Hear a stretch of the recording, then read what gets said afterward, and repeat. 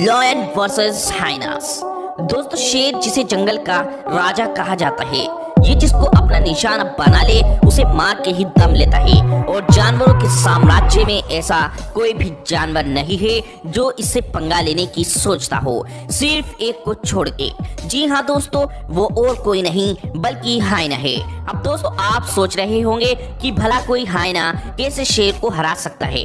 दोस्तों, ज़ाहिर सी बात है कि शेर और हाइना को आमने सामने की लड़ाई में शेर हाइना को मार देगा। लेकिन दोस्तों, हायना शेर के मुकाबले काफ़ी चालाक होते हैं। इसीलिए वो अपने झुंड में शेर पे हमला करते हैं। और दोस्तों इंटरेस्टिंग बात तो ये है कि दोनों में कितनी भी लड़ाई क्यों ना हो जाए, लेकिन दोनों एक दूसरे की जान नहीं लेते, क्योंकि वो लड़ते सिर्फ़ भोजन पे हैं। दरअसल दोस्तों, कई बार जब शेर खुद अपने दम पर किसी जानवर का शिकार करते हैं